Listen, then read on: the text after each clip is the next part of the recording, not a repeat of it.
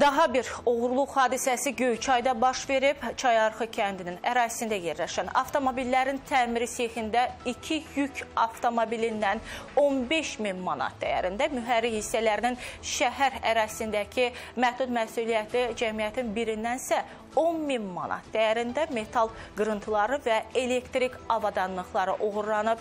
Polis əməkdaşlarının keçirdikləri əməliyyat axtarış tədbirləri nəticəsində uğurladıqları uğurluqları törətməkdə şübhəli bilinən Göyçay şəhər sakinləri əvvəllər məhkum olunmuş Həsənov, Eminov və Vəliyev müəyyən edilərək saxlanılıblar, araşdırma aparılır.